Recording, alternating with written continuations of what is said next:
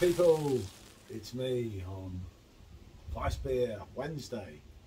From Portese Beer Reviews. And I will let Michelle introduce today's mm-hmm. Right, this is an Auersbach Christa by Dunkel, and I hope that was near enough. This Oh. looks really interesting. I call it, you know, they all look interesting here, don't they? They do, because I it- love this type of beer. Would a can of Coke look that interesting? Can I Def- ask? definitely not. Might be the right colour, but definitely not the right taste. Not Diet Coke. No, definitely not Diet. Pepsi Max? No. Okay, right, let's get to it. Alders Backer, as I call it, and it comes in at a lovely 5.1%. An exclusive Dunkel with the correct branded glass. Thank you, Marcus, my old mate. Always makes a difference. It, they taste better in the correct glass, as I've always said. Right, let's pour this.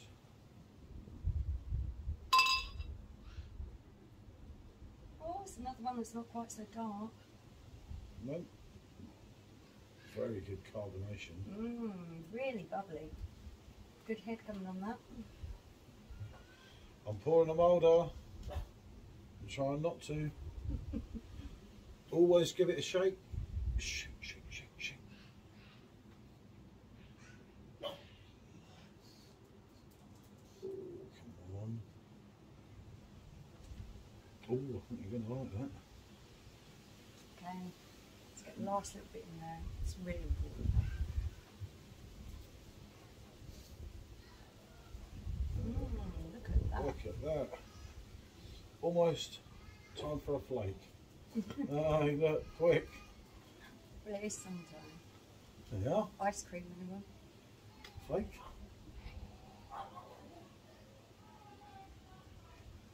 Now we can actually get. Oh, Yeah, it smells absolutely of everything. yeah, there's fruit there. There's quite a lot of fruit there. Everything. The aroma is um, it's malty, it's fruity, Looks. even a little bit Some sort of- floral. Right, well here's the bottle, so you know what we're drinking. We pronounced it terribly badly. And the drink is not quite as dark as what I'd expect from a Dunkel. This is a dark brown colour. Like a. Looks like a Frankie Royal, if I'm honest.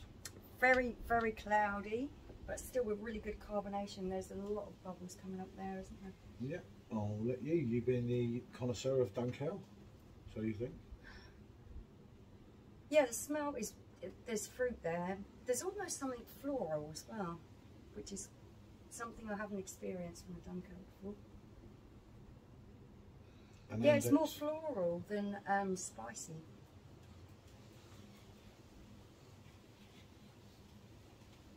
The brewery dating back to 1146, if I may add.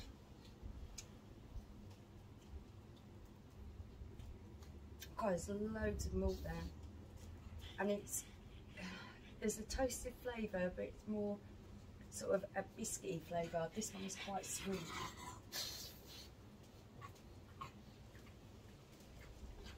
Mmm, yeah, creamy aftertaste. Yep, good on the palate. Really, really creamy. Quite light, not as heavy as some Dunkels. Um,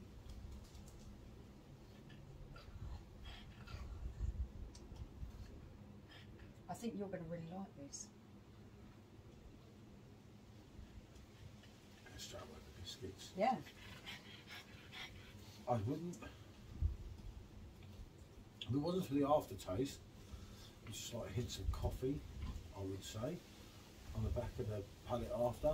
I wouldn't even know that's a Dunkel until the aftertaste. It isn't. It isn't. Um, it isn't as rich or as um, heavy as what I would think of a traditional Dunkel to be. Um, It's very smooth. and it's quite carbonated to the fact that you're feeling them bubbles on your tongue, aren't you? Yep, look at it. It's still Yeah. really carbonated now. It's, it's really sweet. It's only after as you swallow. Mm. Yeah, I'm getting a real sweet kind of caramel taste there as well. In the aftertaste. Like caramel Mm. coffee. Definitely coffee. Just to get right at the end. It's a pure, like a pure coffee, a really nice coffee. Creamy, but not too creamy. That makes sense. Totally right at the end, Mm. the end of the palate. So as you swallow, Yeah, yeah, but there's a sweetness to it as well. It's like a um, one of your fancy coffees that you would get in a coffee shop. I don't know. I can't afford coffee shops. and you try them around abroad all day. um, yeah, that is really good. There were so many flavours there, it's hard to pick out everything individually, but there is a lot more fruit than spice here, I think. Yeah, it's not too, not too small. I say, you wouldn't know it's a Dunkel. If you're blind tested on that now, a ri- apart from right to the end, you'd get a hint.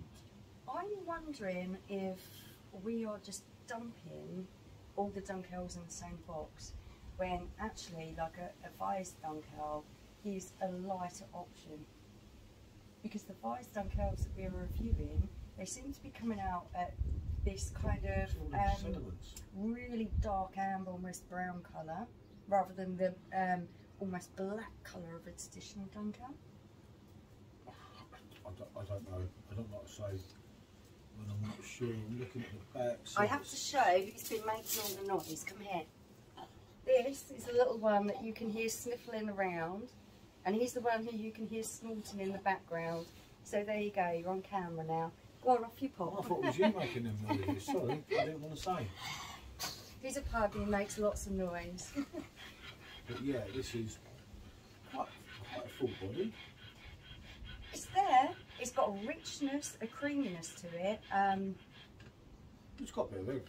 yeah, it is, it is really a good all-rounder. There's a lot there, there's a lot of flavour. One of them that, as you're tasting it, you're getting a totally Mm. different taste to it's going in your mouth, you're swallowing, your aftertaste. You're at three different levels. Your aftertaste is quite creamy. There's no bitterness or anything There's there coffee. to it. Yeah. Coffee, caramel, coffee. What do, what do they call those caramel coffees? If you could think of like a cold one of those with a creaminess to it.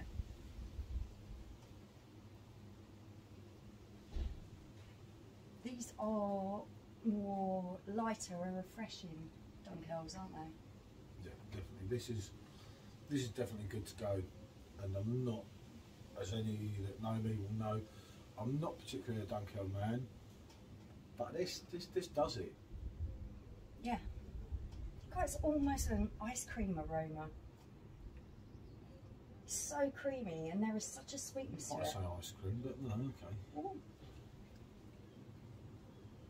Oh yeah, that's Yeah. good. That I- is It is good. I've not been disappointed by anything I've tried by this particular brewery yet. So- It's number four. We've already reviewed three. Um, I don't know if you've seen three of them. If three of them are live yet, because we're a bit confused with all the videos we've taken.